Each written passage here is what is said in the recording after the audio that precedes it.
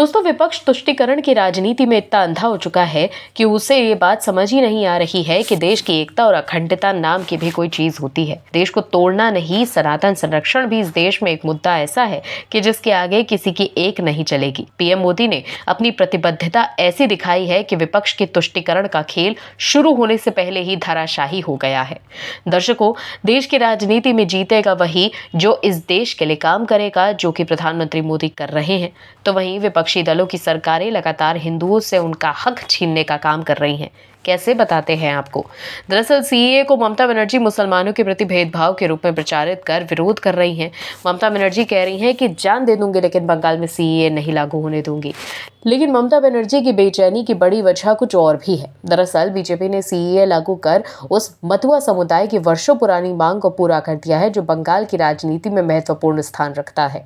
लगभग 25 लोकसभा सीटों पर निर्णायक भूमिका निभाने वाली एक करोड़ की आबादी वाले वोट बैंक पर बीजेपी के बढ़ते प्रभाव से सतर्क टीएमसी डैमेज कंट्रोल करते हुए ममता की डोर से बांधने का प्रयास कर रही थी। लेकिन सीए लागू कर बीजेपी ने ममता बनर्जी की नज़र में बैठे एक बड़े वोट बैंक पर जैसे सर्जिकल स्ट्राइक कर डाली है। अब बीजेपी ने इस कदम से तिल मिलाई ममता बनर्जी ने सीए का विरोध किया है और सीए को चुनावी हथखंडा करार दे दिया है।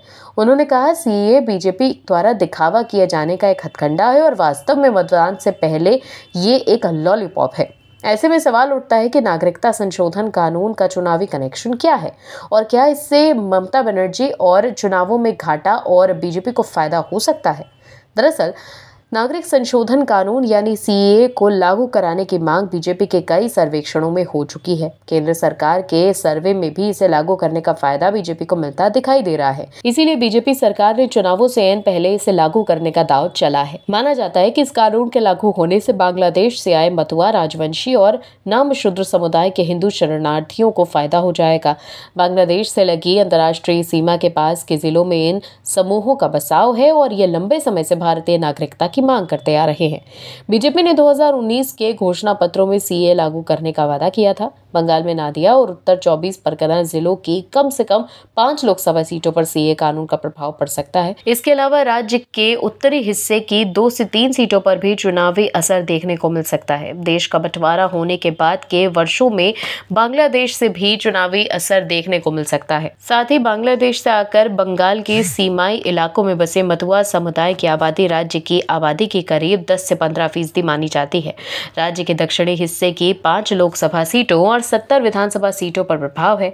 हालाँकि बंगाल में एक समय मतुआ के ज़्यादातर वोट माकपा की झोली में जाते थे।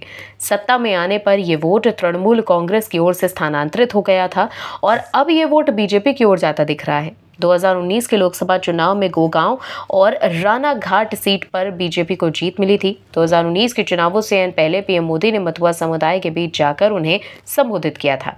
इसी तरह उत्तरी बंगाल के जिस इलाके में राजवंशी और नामशूद्र समुदाय की आबादी का बसाव है, वहाँ भी बीजेपी ने 2019 में तीन सीटों पर जीत दर्ज की थी।